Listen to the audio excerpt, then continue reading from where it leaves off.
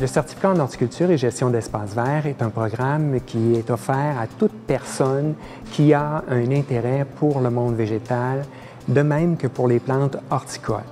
Le certificat est un programme d'études universitaires de 30 crédits qui permet de se familiariser avec le fonctionnement des végétaux.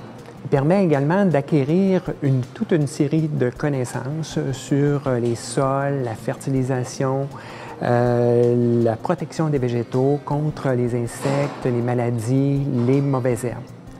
Il offre également une série de cours au choix qui euh, concernent entre autres la gestion euh, des ressources humaines, la production, l'utilisation, l'entretien de toute une série de végétaux qui sont utilisés en aménagement du paysage. La clientèle est extrêmement variée.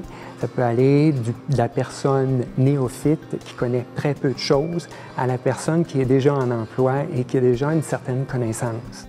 Ce programme est offert entièrement à distance et à temps partiel, ce qui donne une grande flexibilité pour les gens qui sont en emploi.